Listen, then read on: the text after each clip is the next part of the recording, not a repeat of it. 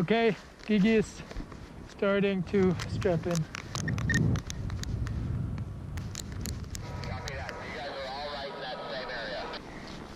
Yes. Okay. Gigi, you're going first. You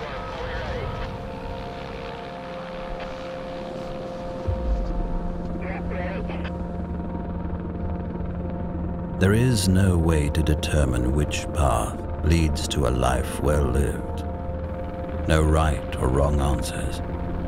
Yet, a rich, fulfilling existence is possible.